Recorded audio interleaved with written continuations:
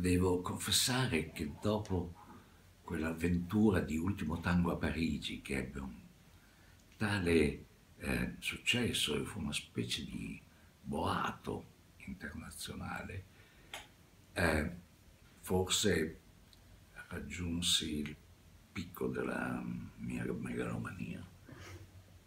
Il Novecento nasce da questo. All'inizio pensate doveva essere un film che era un ponte, un ponte tra l'Unione Sovietica e gli Stati Uniti. Eh, ben presto capì che per avere un attore sovietico a interpretare Olmo avrei dovuto avere l'approvazione della sceneggiatura della Mosfilm e lì finì il sogno del ponte.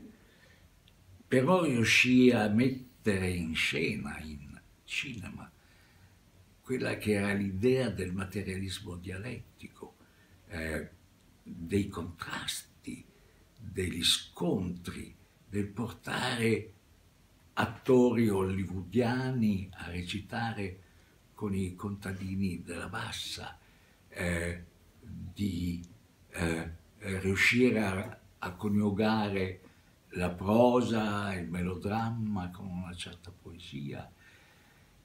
Insomma, era meraviglioso vedere Sterling Hayden eh, nel ruolo del vecchio nonno contadino, il patriarca, eh, che chiamava Olmo, nome che non esisteva fino alla sceneggiatura del Novecento. Ora c'è pieno di Olmi in giro per l'Europa. Si chiamò così Olmo perché era il momento della grande moria di tutti gli uomini, c'era una malattia che non si poteva fermare e mi sembrava giusto dare questo nome al personaggio.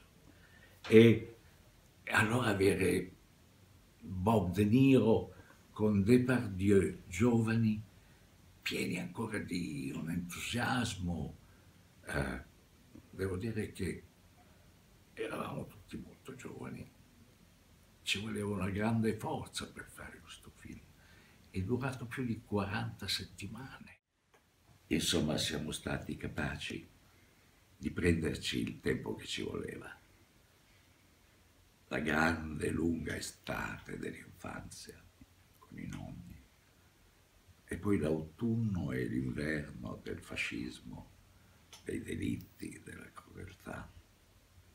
E finalmente la primavera del 45, la primavera della liberazione ed è proprio il 25 aprile del 45 che chiude il film con il punto più forse eh, importante eh, eh, dell'utopia, il processo che i contadini fanno al padrone per dichiarare alla fine che il padrone è morto, ma non va ucciso perché è l'esempio vivente che il padrone è morto. Se ci ripenso oggi forse mi sembra che Novecento con gli anni che sono passati, mi sembra sempre di più un esperimento, un grande esperimento, un esperimento produttivo con tre majors americane coinvolte nella distribuzione, eh, un esperimento di formato non più i tempi convenzionali di un film, due atti, cinque ore, eh, atto primo, atto secondo, come fosse un'epoca.